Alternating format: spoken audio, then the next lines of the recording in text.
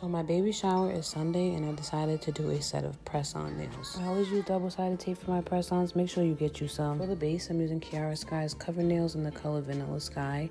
They just make life so much easier. Make sure you put some gloves on so you don't develop any allergies. I was seriously a fool in 2020. Anyways, I seen this beautiful set done by Nails by Dom and I just knew that this is exactly what I wanted to do for my big day. So I did two solid blue nails and the rest with a French tip and then I wiped it off with alcohol. That's very important to get rid of the sticky layer. The fun part was putting these random swirls all over the nail. There's really no direction that I went with this. Just keep swirling until it looks good enough to you. That That's the only advice I could give at this point. While the gel was still wet, I took my clear acrylic and sprinkled it in all directions all over the nail and cured them. Straight out the lamp, I go ahead and brush off that excess powder. Then I take my nail file and reshape to perfection. I'm so obsessed and I will be back to show you guys how the whole look came together.